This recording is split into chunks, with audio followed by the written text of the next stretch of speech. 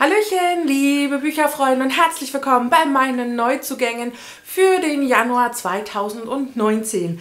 Ja, wir haben tatsächlich den ersten Monat des neuen Jahres schon fast geschafft und äh, ja, ich sage jetzt gar nicht, dass die Zeit irgendwie schnell vergangen ist. Ich fand das einen äh, ganz angenehmen Monat. Ich bin froh, dass dieser Wintermonat dann im Grunde auch schon abgehakt ist. Es folgen ja dann theoretisch, wenn es gut läuft, nur noch so eineinhalb bis zwei Monate, bis dann endlich wieder ja, die Welt erwacht und der Frühling da ist. Und äh, ja, buchtechnisch, äh, Neuzugänge technisch, äh, ja, war der Januar natürlich ein bisschen ja, da ich ja Geburtstag hatte im Januar und auch schon zu Weihnachten äh, doch einiges auch an Thalia-Gutscheinen bekommen habe und natürlich auch Bücher äh, zum Geburtstag erhalten habe. Aber es sind insgesamt äh, dann im Grunde nur 16 Bücher geworden, was von der Anzahl tatsächlich ganz gut ist, denn ich habe das in etwa auch gelesen, was ich eigentlich dann wieder ja, richtig schön und auch gut finde, ähm, dass sich im Grunde der Sub nicht irgendwie aufbaut oder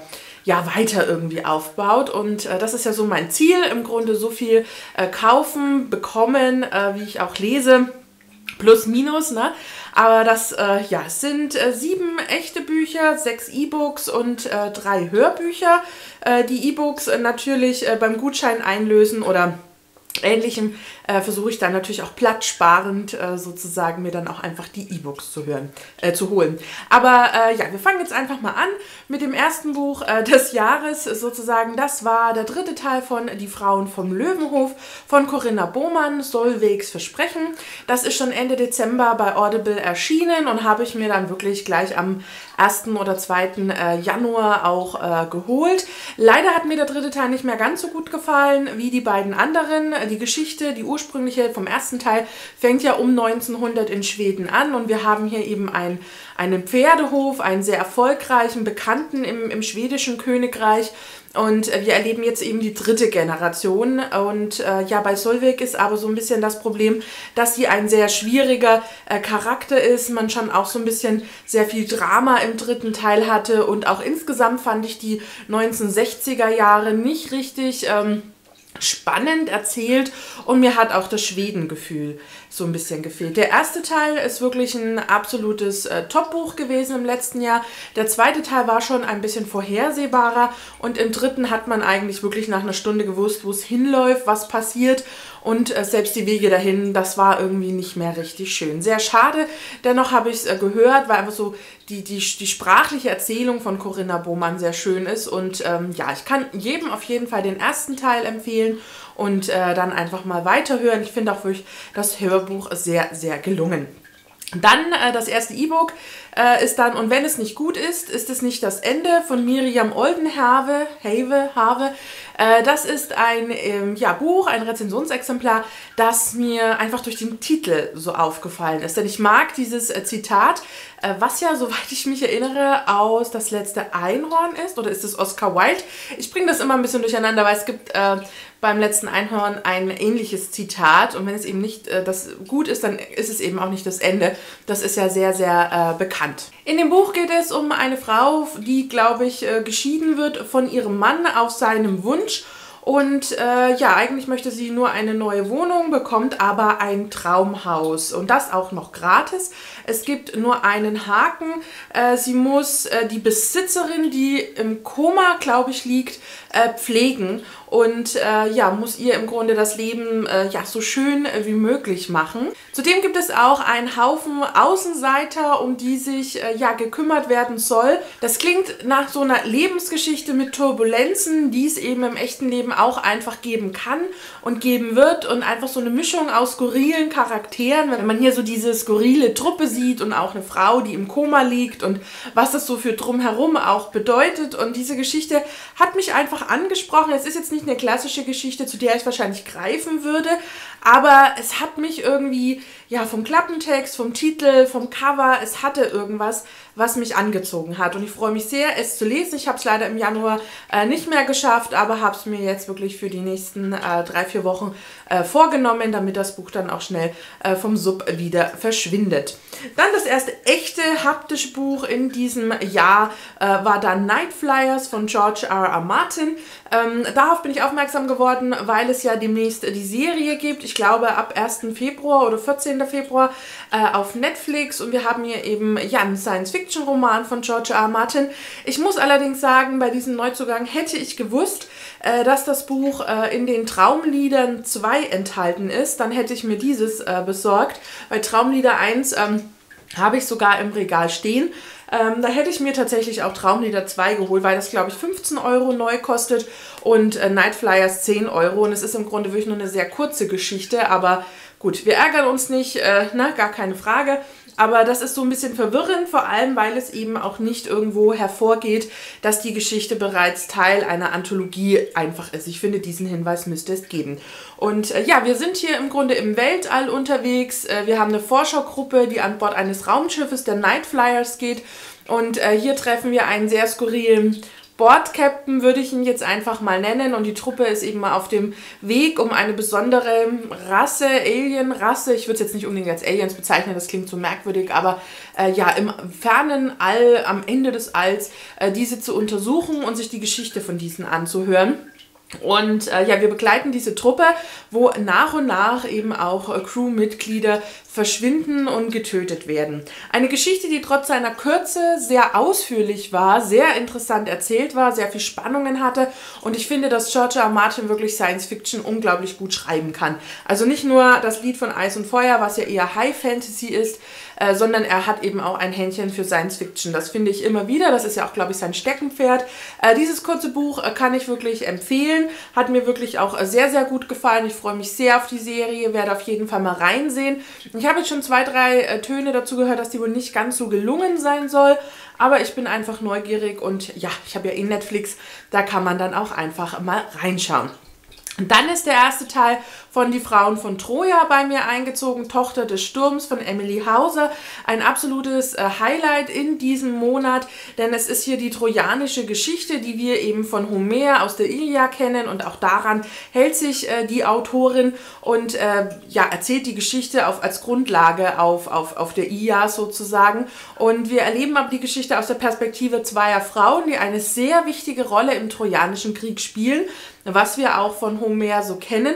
Und äh, ja, diese beiden sind eben wirklich so die, die Schlüsselfiguren der Geschichte, dass vieles so passiert ist, was eben auch äh, geschah. Und ich mochte einfach wieder dieses Troja-Feeling. Ich habe äh, früher tatsächlich mehr dazu gerade an Dokumentationen gesehen. Ich habe auch die IA gelesen, ähm, habe überhaupt Homer sehr zu schätzen gewusst in seiner Sprache, wie er Geschichten erzählt. Und Emily Hauser schafft es eben hier einfach in sehr locker, flüssiger Form, so diese etwas vielleicht trockenere Geschichte zu erzählen und uns diesen Trojanischen Krieg zusammen auch mit den Göttern und den wichtigen Charakteren wie Achill, Paris, Helena, Hector, Cassandra einfach zu erzählen. Ein, ein wirklich absolutes historisches Highlight, ähm, was ich wirklich großartig fand.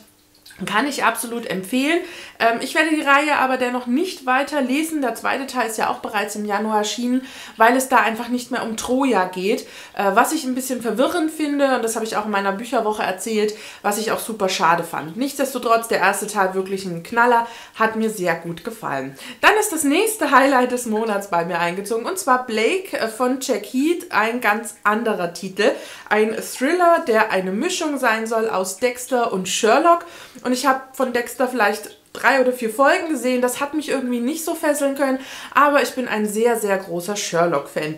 Und ähm, ja, mich hat hier einfach beim Thriller angesprochen, dass wir eben hier so einen Gehilfen des FBIs haben, einen Profiler, der eben in einen Raum geht und die Situationen äh, unglaublich gut äh, ja, einschätzen kann, ähm, der aber irgendwie eine kleine Schwäche hat, die ähm, doch ähm, manchen Menschen sehr anwidern könnte Ja, und auch mich. Und das Erschreckende dann an diesem Thriller ist nicht nur, was an Morden passiert, was wir an Fällen lösen, die wirklich sehr spannend sind, die auch von seinem Profiling her sehr cool gemacht sind, wie er an die Lösungen sozusagen dieser Rätsel kommt. Das erinnert tatsächlich an Sherlock.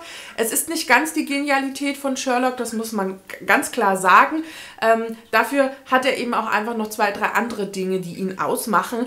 Und es ist an mancher Stelle schon sehr blutig und es war mir auch an mancher Stelle fast zu detailreich erzählt. Aber es war noch aushaltbar. Also es war auch ein absolutes Thriller-Highlight hat mir unglaublich gut gefallen und hätte ich irgendwie auch gar nicht so gedacht. Aber ich habe das auch in, in zwei Atemzügen sozusagen äh, eingehaucht und äh, weggesuchtet. Kann ich auch absolut empfehlen. Man muss sich einfach nur klar sein, dass es schon ein bisschen spezieller ist und eben auch ein bisschen blutiger ist. Man muss das einfach mögen. Dann habe ich äh, zum Geburtstag von zwei lieben Freundinnen äh, zweimal das gleiche Buch geschenkt bekommen und zwar die Bullet Journal Methode von Ryder Carroll. Das ist jetzt die englische Ausgabe, die ich auch äh, schon gelesen habe. Die deutsche Ausgabe habe ich gerade an eine andere Freundin äh, verliehen. Ja, so ist das halt mit Büchern, ne? Aber ich fand es wirklich auch toll. Ich beschäftige mich jetzt fast zwei Jahre mit der Bullet Journal Methode, ähm, führe ja im Grunde auch eins so in meiner Art und Weise, habe euch dazu ja auch ein Planner-Video hochgeladen und ja, ich nutze es definitiv anders, als es äh, Ryder Carroll sich im Grunde ausgedacht hat. In diesem Buch erfahren wir aber seine Geschichte. Im Grunde ist das auch so ein bisschen biografisch. Wieso hat er das erfunden? Was waren seine Gedanken? Was hat ihm geholfen? Welche ähm, ja, Tracker gibt es, die er eben gut findet? Findet, was kann man, nein, wie kann man diese nutzen und äh, was macht man im Grunde, damit man alles, das Beste, alles Mögliche aus diesem Buch auch herausholt. Fand ich super spannend, fand ich wirklich äh, auch mega ähm, rübergebracht, auch im Englischen. Ich habe vielleicht drei, vier Mal ins Deutsche geguckt, weil mir irgendwas nicht so richtig klar war. Ich fand es wirklich toll und ich werde ja tatsächlich so mein Bullet Journal ein bisschen in, in das von Ryder Carrolls umverwandeln, weil ich wirklich einiges entdeckt habe, wo ich dachte, ja, da will ich auch mehr so aus mir und meinem Bullet Journal herausholen und das möchte ich auf jeden Fall auch anwenden. Und da freue ich mich auch schon drauf, jetzt im, im Februar da einfach schon mal zu beginnen. Fand es wirklich gut geschrieben, kann ich absolut empfehlen, sowohl für Anfänger als auch für Erfahrene, die denken, sie haben schon alles gesehen und gehört. Man muss aber ganz klar sagen, wer hier Vorlagen sucht oder Ideen, wie kann ich eine Monatsübersicht wunderschön erstellen. Nein, also Ryder Carroll ist da überhaupt nicht der Richtige für Erstellungen oder Grafik. Er sagt auch, im Grunde ist das alles völlig Firlefanz, den man nicht braucht. Er sagt aber auch, dass jeder es machen kann, wie er möchte. Und wenn man es eben kreativ mit Kunst nutzen möchte, dann soll man das tun, wenn das eben wieder ein Grund ist, weswegen man dazu greift. Also er ähm, findet durchaus auch einen Grund, warum es eben ähm, ja, schön sein kann, dass man es verschönert. Kann ich absolut empfehlen, ähm, fand ich wirklich sehr gelungen und auch das Englische wirklich sehr, sehr gut lesbar. Und dann habe ich auch äh, ja, ein Achtsamkeitsbuch äh, bekommen, Entdecke dich. Das ist ein Achtsamkeitsjournal von Elena Brower. Das habe ich ähm, ja, auf der Verlagsseite vom Irisiana Verlag entdeckt und habe es dann da auch angefragt. Finde ich wirklich mega, mega spannend, denn es geht hier um Schreiben, Nachdenken und Träumen. Denn es ist eine Einladung äh, zu sich selbst zu finden. Und ich habe das, glaube ich, in der Flow entdeckt, wie es so oft ist. Und ich fand auch einfach, dass es, äh, ja, die Bilder, die ich so ein bisschen da drin gesehen habe, wirklich spannend fand. Und ich bin einfach sehr gespannt, was dieses Buch so ein bisschen mit mir macht. Ich habe mir das ja für 19 auch so ein bisschen vorgenommen, so wirklich das von mir Gedachte und Gefühlte und ähm, ja, Innere sozusagen auch nach außen zu bringen. Ähm, nicht nur das theoretische Wissen zu wissen, sondern ja, es im Grunde auch ähm, ja, nach, ja, für mich zu nutzen, im, im, nach außen sozusagen. Und ich freue mich sehr auf dieses Buch, bin sehr, sehr gespannt. Und ähm, ja, ich weiß noch nicht so direkt, wann man es am besten einfach mal anfängt. Ob man einfach mal loslegt und startet oder ob man sich da vielleicht wirklich mal so ganz bewusst ein ganzes Stückchen Zeit nimmt. Aber ihr werdet es auf jeden Fall in der Bücherwoche und vielleicht auch auf Instagram äh, nochmal sehen. Und ähm, ja, da bin ich auf jeden Fall sehr gespannt. Dann habe ich äh, von einer Arbeitskollegin ein Buch geschenkt bekommen. Äh, das war ihrem Mann zu blutig und zu brutal. Und dann hat sie gemeint, du guckst doch auch The Walking Dead. Äh, ja, da ist das bestimmt für dich. Ach, und sie hat auch noch gesagt, Stephen King liest du ja auch. Wo ich dachte, oh, der Autor ist aber schon eine andere Nummer. Ja, es ist mein erster Chris Carter, I Am Dead, äh, der Todmacher.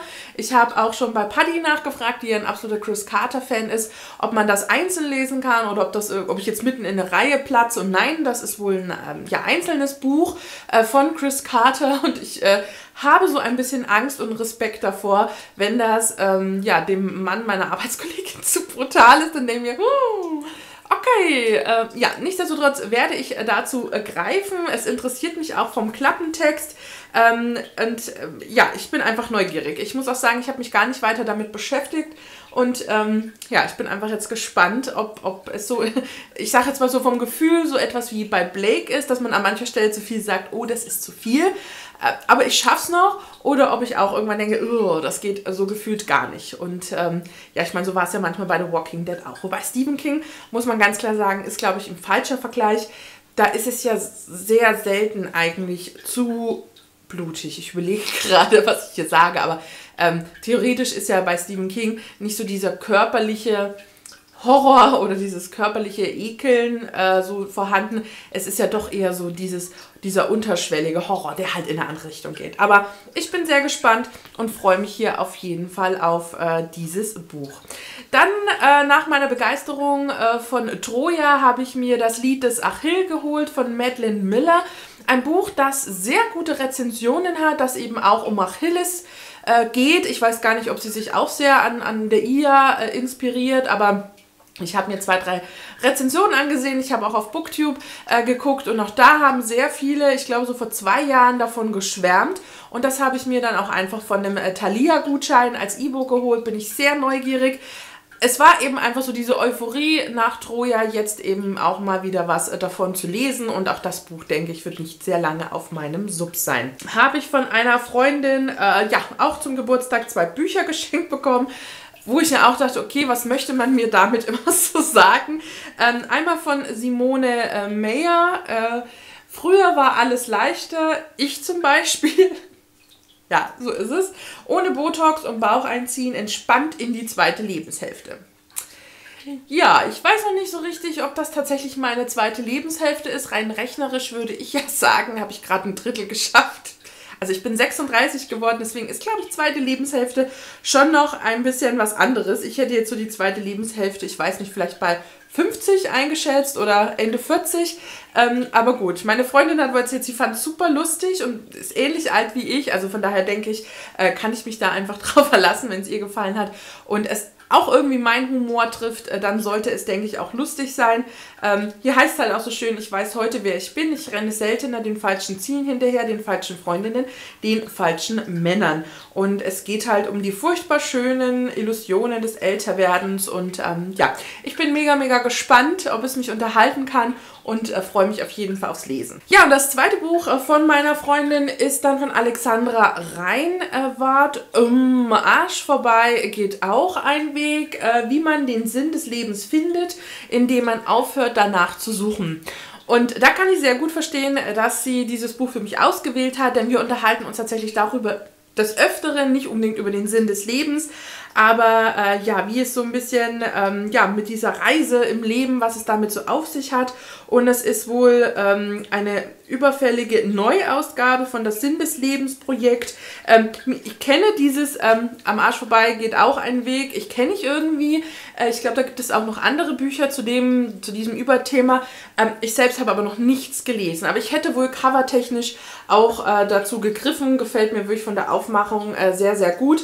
Und bin ich auch sehr neugierig, was darin steckt. Ist jetzt ja auch kein so dickes Buch. Und ich denke, wenn das ein bisschen ähm, unterhaltsam ist, dann äh, kann, kann das auf jeden Fall auch äh, Spaß machen. Und hier heißt es, jeder kennt die Momente im Leben, wenn man sich fragt, ist das wirklich alles? Müsste es da nicht noch etwas anderes geben? Oder geht es jetzt einfach immer nur so weiter, bis man in die Grube fällt? Und ähm, ja, dem ist im Grunde nichts hinzuzufügen. Ich glaube, diese Fragen stellen wir uns alle mal und ich bin sehr, sehr gespannt, äh, was es da so ein bisschen auf sich hat. Das hat, glaube ich, meine Freundin auch noch nicht äh, selbst gelesen. Äh, von daher bin ich einfach sehr gespannt, wie ich das finde. Dann ist der zweite Teil von Der Rat der Neuen von Veronica Ross bei mir eingezogen gegen das Schicksal. Hier habe ich ja den ersten Teil auch nochmal nochmal äh, gehört. Also ich habe vor zwei Jahren den ersten Teil gelesen. Jetzt habe ich ihn nochmal gerereadet, einfach um wirklich so der Reihe ähm, ja auch einfach so ja wieder drin zu sein. Es ist ja eine sehr komplexe Science-Fiction, High-Fantasy-Story mit dystopischen Anteil, mit vielen merkwürdigen Namen und Orten und Charakteren, die doch sehr speziell sind, sehr tiefgründig sind, sehr anders sind, sehr eine Entwicklung auch einfach mitmachen, die ich wirklich sehr spannend fand und ich freue mich wirklich sehr jetzt auf den zweiten und wohl auch abschließenden Teil äh, dieser Reihe. Es ist wohl nur eine Dilogie und das ist jetzt im Grunde dann auch der Abschluss. Ich habe mich hier auch fürs Hören entschieden, äh, weil ich auch einfach den ersten Teil beim jetzt nochmal hören so dachte, das ist wirklich ähm, ja wieder so eine Geschichte, die gut funktioniert für mich äh, zum Hören und äh, ja, mir auch einfach Spaß gemacht hat. Es gibt ja Geschichten, die funktionieren zum Hören, ja zum Beispiel auch besser. Hier fand ich es wirklich sehr angenehm angenehm. Ich konnte dem sehr gut folgen. Es ist auch von der Erzählung so ein bisschen in diese Richtung von Elias und Laia, was mich ja auch sehr gepackt hat. Und ich finde, dass Dystopien eben auch sehr gut gehen. Was natürlich beim Hören ein bisschen schwieriger war, ist ähm, ja schon so ein bisschen diese ganzen Namen sich vor Augen zu halten und da nicht zu schnell irgendwie zu durcheinander kommen. Zudem spricht das Hörbuch manche Namen anders aus, wie ich sie in Erinnerung habe, also wie ich sie in meinem Kopf beim Hören anders ausgesprochen habe. Das war anfangs ein bisschen verwirrend, aber ich denke, jetzt beim zweiten Teil sollte das kein Problem sein. Und ich fand wirklich hier den Auftakt sehr, sehr gelungen. Es braucht ja, so 100, 150 Seiten, gefühlt auch wirklich zwei Stunden äh, vom Hörbuch, bis man drin ist.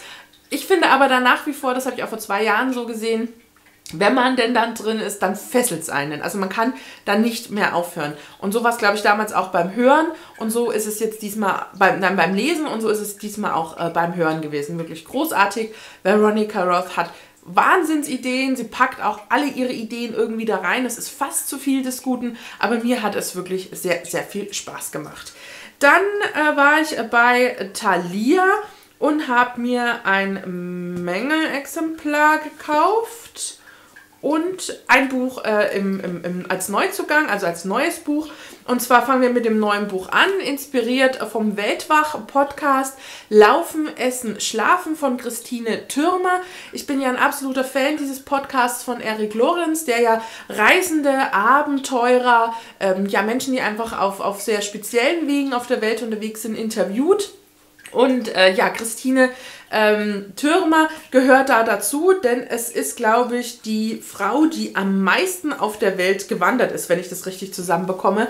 Und ich fand sie in den zwei Podcasts, wo ich es jetzt gehört habe, so sympathisch, so erfinderisch, erzählerisch und ich finde das einfach Hammer. Also was sie läuft, wie sie läuft, was sie dabei empfindet, warum sie das macht, wie sie das macht, äh, also sie wiegt ähm, wirklich zum Beispiel auch ihre Gepäckstücke so ab, dass sie genau weiß, wie viel Kilo ähm, ja, hat sie in ihrem Rucksack, dass es nicht zu viel ist zum Tragen, äh, was sie für einen Ordnungsfanatiker tatsächlich ist, dass sie ja keinen Wohnort mehr in Deutschland zum Beispiel hat, sondern wirklich nur noch auf der Welt unterwegs ist, dass alles irgendwo untergebracht ist und äh, wie sie das handhabt. Und ich bin jetzt mega gespannt, das so möglichst detailreich von ihr dann auch in diesem äh, Buch einfach äh, zu lesen. Wie gesagt, ich fand den Podcast schon mega spannend und ich folge Christine Türmer jetzt auch auf Instagram, sie also gerade auch so ein bisschen, wo sie ist und was sie da tut und finde das wirklich mega, mega spannend und freue mich darauf, äh, das äh, zu lesen.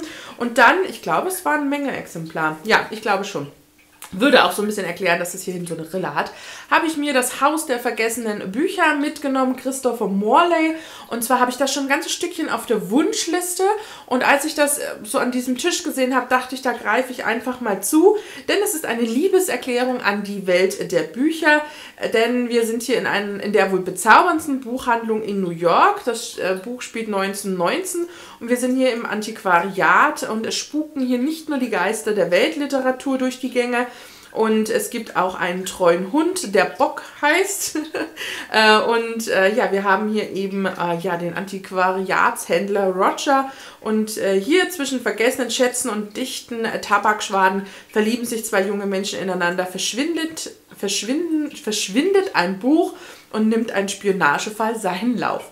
Und ja, Bücher und wenn es Geschichten gibt oder Bücher gibt, die um Bücher spielen, das äh, finde ich immer mega spannend.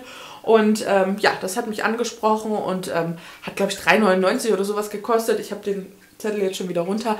Aber an dem Buch fehlt nichts, außer dass es ein bisschen einen runden, ja, schiefgelegenen äh, Rücken hat. Und das stört mich ja persönlich nicht. Und äh, ja, da habe ich auf jeden Fall ein Schnäppchen gemacht. Dann ist äh, das neue Hörspiel von Iva Leon Menger bei mir eingezogen und zwar Ghostbox, der Tod ist nicht das Ende. Äh, von dem Autoren ist ja auch Monster 1983, ein Hörspiel, das ich 2017 geliebt habe, gesuchtet habe, großartig fand und auch wirklich mir so das Hörspiel wieder näher gebracht hat.